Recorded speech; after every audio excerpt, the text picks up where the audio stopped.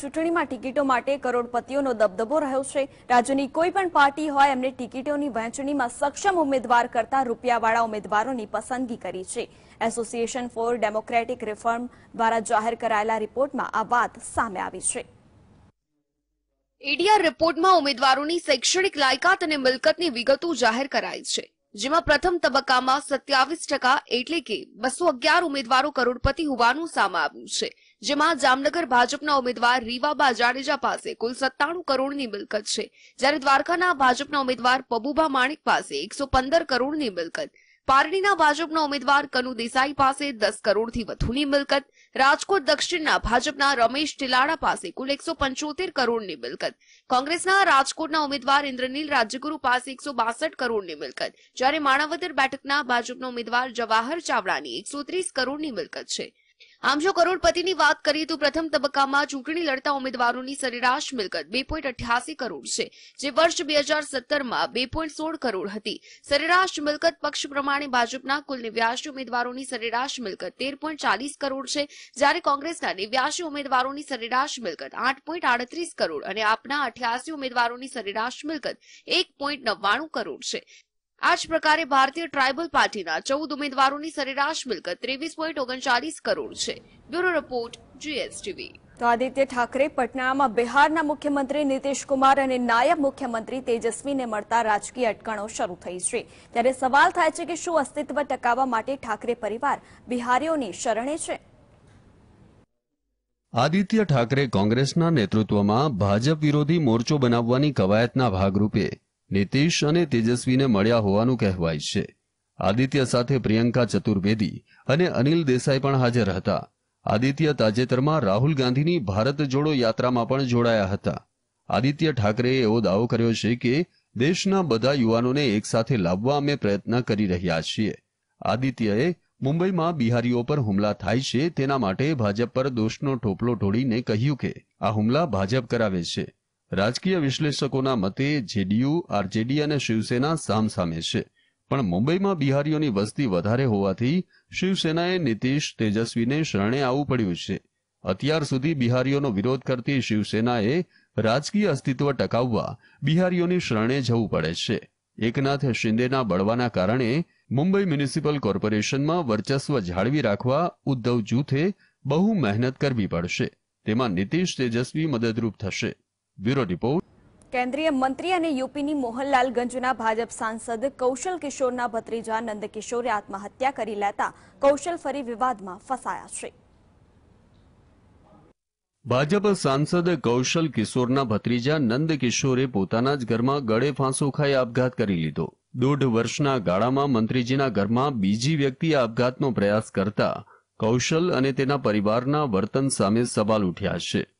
આ પહેલા માર્ચ બે હજાર એકવીસમાં તેમની પુત્રવધુ અંકિતાએ પણ આપઘાત કરવાનો પ્રયત્ન કર્યો હતો. અંકિતાએ ઘરની બહાર પોતાના હાથની નસ કાપી લીધી. એ પહેલા તેણે વીડિયો બનાવ્યો હતો.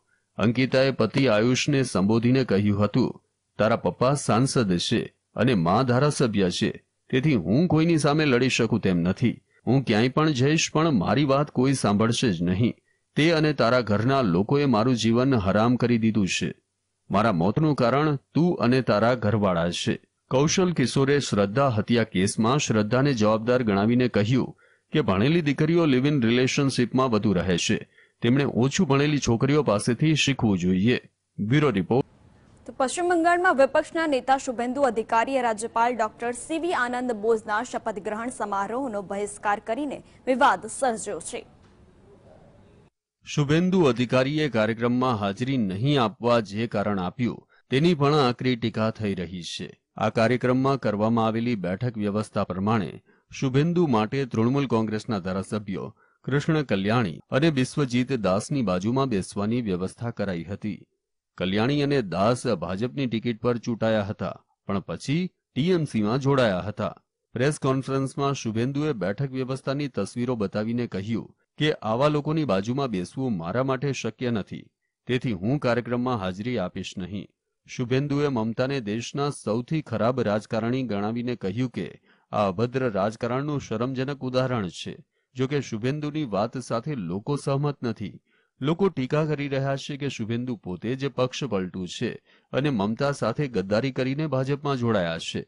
તેઓએ ભાજપ સાથે તૃણમૂલમાં જનારા ધારાસભ્યો સાથે બેસવામાં વાંધો છે એ વાત હાસ્યાસ્પદ છે. Bureau report. તો સુપ્રીમ કોર્ટે આર્થિક રીતે નબળા વર્ગના લોકો માટે દસ ટકા અનામત આપવાના કેન્દ્ર સરકારના નિર્ણય પર મંજૂરીની મહોર મારતા ભાજપને રાહત થઈ છે પણ પ્રાદેશિક પક્ષો તેની વિરુદ્ધ જોવા મળી રહ્યા છે. આર્થિક રીતે નબળા વર્ગના લોકો માટે દસ ટકાના નિર્ણયનો દક્ષિણના રાજ્યોમાં ઉગ્ર વિરોધ શરૂ થતા કોંગ્રેસે મધ્યપ્રદેશના પોતાના નેતા ડોક્ટર જયા ઠાકુર મારફતે રિવ્યુ પિટિશન દાખલ કરાવી છે. કોંગ્રેસે પહેલા સુપ્રીમ કોર્ટના ચુકાદા અંગે કોઈ પ્રતિક્રિયા નહોતી આપી, પણ દક્ષિણના રાજ્યોમાં ચુકાદાનો વિરોધ થતા કોંગ્રેસ સક્રિય થઈ છે. તમિલનાડુના મુખ્યમંત્રી એમ કે સ્ટાલિને કોંગ્રેસ સહિતના તમામ રાજકીય પક્ષોની સર્વદળીય બેઠક બોલાવીને ઈડબ્લ્યુએસના દસ ટકાની અનામતની જોગવાઈ કરાઈ છે. એ બંધારણના એકસો ત્રણમાં ચુકાદાને ફગાવી દીધો હતો. આ કારણે કોંગ્રેસને લાગે છે કે ઈડબ્લ્યુએસ ચુકાદાનો વિરોધ કરીને રાજકીય ફાયદો મેળવી શકાય છે. કોંગ્રેસ નેતા ઉદિત રાજે ચુકાદાનો એમ કહીને વિરોધ કર્યો હતો કે એસસી, એસટી અનામત વધારવાની વાત કરાઈ ત્યારે ઇન્દિરા શાહની કેસને ટાંકીને પચાસ ટકા અનામતની મર્યાદાનો હવાલો અપાય છે. પણ અત્યારે એ મર્યાદા નડતી નથી બ્યુરો રિપોર્ટ. મોદી લોકસભાની ચૂંટણી પહેલા પીઓકે પાછું મેળવવા માટે પીઓકે પર ચડાઈ કરશે. આ પ્રશ્ન એટલા માટે ઉઠી રહ્યો છે કેમ કે તાજેતરમાં આર્મીના એક ઉચ્ચ અધિકારીઓ આ અંગે સંકેત આપ્યા છે. ઇન્ડિયન આર્મીના નોર્ધન કમાન્ડના ચીફ લેફ્ટનન્ટ જનરલ ઉપેન્દ્ર દ્વિવેદીએ પાકિસ્તાને બચાવી પાડેલા કાશ્મીર પર ત્રાટકવાની લશ્કરની પૂરી તૈયારી હોવાનું નિવેદન આપીને રાજકીય ઉત્તેજના સર્જી છે. આ નિવેદનના કારણે એવી અટકળો શરૂ થઈ ગઈ છે કે મોદી સરકાર બે હજાર ચોવીસની લોકસભાની ચૂંટણીમાં જીતવા પીઓકે પર આક્રમણનો મોટો દાવ ખેલી નાખશે. ભાજપને બે હજાર ઓગણીસની લોકસભાની ચૂંટણીમાં પીઓકેમાં સર્જિકલ સ્ટ્રાઇક ફળી હતી. તેથી આ શક્યતા નકારી ન શકાય. લેફ્ટનન્ટ જનરલ દ્વિવેદીએ કહ્યું કે ભારત સરકાર આદેશ આપશે કે તરત જ આર્મી પીઓકેમાં કાર્યવાહી કરશે. તેમણે કહ્યું કે પીઓકે અંગે સંસદમાં ઠરાવ પસાર કરવામાં આવ્યો છે કે પીઓકે ભારતનું છે. તેથી એ પાછું લેવા માટે લશ્કરી કાર્યવાહી જરૂરી છે.